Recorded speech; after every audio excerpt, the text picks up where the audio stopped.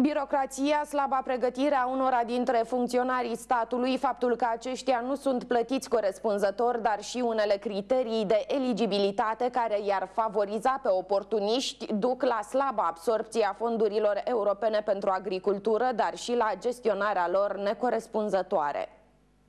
La finalul Programului Național de Dezvoltare Rurală 2007-2013, finanțat prin Fondul European de Dezvoltare Rurală, încă sunt probleme cu privire la modalitatea de atragere a banilor europeni și cu privire la gestionarea fondurilor de către unii care reușesc să întocmească proiecte care să fie și aprobate. Legislația pe fonduri europene sau procedurile de aplicare, de absorpție acestor fonduri este foarte, foarte stufoasă. Și cred că acest lucru nu pleacă neapărat de la Bruxelles, pleacă de la organismele de autoritate de management de la noi din, din țară. Dacă s-ar simplifica puțin lucrul, cred că și accesibilitatea acestor fonduri ar fi mult mai ușoară. Bineînțeles, ar trebui regândită și modul în care se, se repartizează finanțarea sau cofinanțarea acestor fonduri. 90% să fie fonduri nerambursabile și doar 10% să fie fonduri proprii.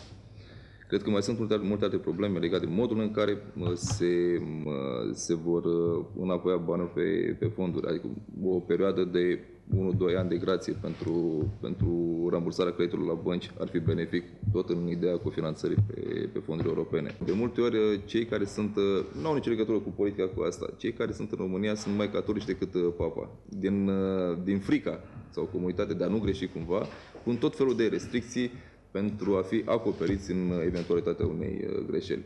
Ăsta e singurul, singurul motiv. Incompetență, comoditate și așa mai departe. Și incompetența vine de ce? Pentru că salariile lor da, sunt cu mult mai mici decât uh, cei din mediul privat. Adică consultatul privat primei sau încasează sau uh, așa mii și mii de euro pentru un proiect, pe când ei au niște salarii plafonate și nu sunt stimulați financiar pentru, pentru a face o treabă. Laurențiu Baciu, administratorul Romagria, unul dintre cei mai importanți cultivatori de porumb din județ, președinta Ligii Asociațiilor Producătorilor Agricoli din România, vorbește și de un cadru legislativ care i-ar favoriza pe oportuniști. Nu știu ce frică au, că potlogării se întâmplă la fiecare pas nu știu cât de le este de frică. Cred că acele măsuri de a încurcă-i dracii sunt făcute numai anume ca să poată să corespundă câțiva să descurajeze pe ceilalți. Pentru ca să poată cineva să acceseze aceste fonduri.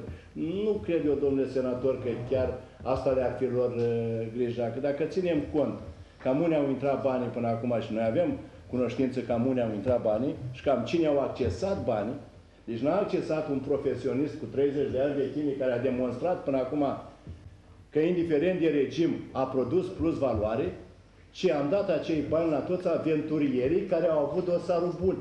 1TV a adus în atenția publicului la începutul lui 2011 cum drumurile forestiere și agricole băcăoane au fost ocolite de fondurile europene. Din totalul de aproape 150 de milioane de euro alocați primei sesiuni de depunere a proiectelor pentru îmbunătățirea și dezvoltarea infrastructurii legate de dezvoltarea și adaptarea silviculturii și agriculturii, Bacăul nu a primit nimic. Cele mai multe proiecte au fost adjudecate de Dâmbovița și Bistrița Năsăud, județe conduse de PDL și de Harghita. În Dâmbovița, de exemplu, unde prefectul de atunci, Iancu Caracotă, controla o firmă de consultanță care avea contracte cu 30 de localități din județ, au fost aprobate la finanțare 15 proiecte în urma selecției și contestațiilor aferente măsurii 125 prima sesiune. Laurențiu Baciu vorbește și de alte anomalii în cheltuirea fondurilor nerambursabile pentru agroturism. Lucrul ăsta s-a întâmplat și este la văzul tuturor. S-a întâmplat cu acele sume imense care s-au băgat în agroturism, fără nicio gândire, fără să se facă un studiu. E nevoie în zona aceea de, de, o, de o cabană, nu-i nevoie. Și dacă v-ați dus pe zona Bran, ați văzut fiecare casă are pensiune și stau goale 300 de zile.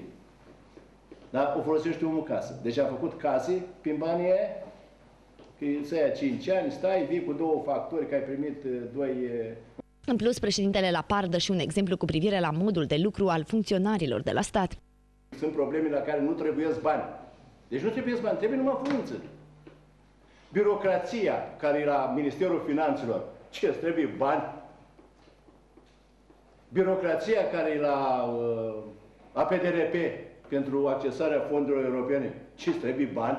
Tati chinui de faci câte o lucrare de doctorat, știi chinui, știi chinui și până la urmă vezi că spune că ești neeligibil. Sau vine cu întrebări de genul și vă rog să credeți că ce spun este adevărat, mă sună de la Iași la un proiect de al meu și îmi spune că nu-i bun uh, certificatul fiscal. Dar de ce? Păi dar nu scrie că aveți datorii. Păi măi, ăsta e zic, programul care îl are primăria Bacău. Zic că ăsta e programul. Nu, domnule, băi, zic, știi ceva? Uh, Dă-l neeligibil, nu-i bun, scoate la afară. Deci că nu, domnule, trebuie măcar să scrie cu pixul, că nu are datorii. Când am văzut că am zis, dă-i drumul așa, rasa.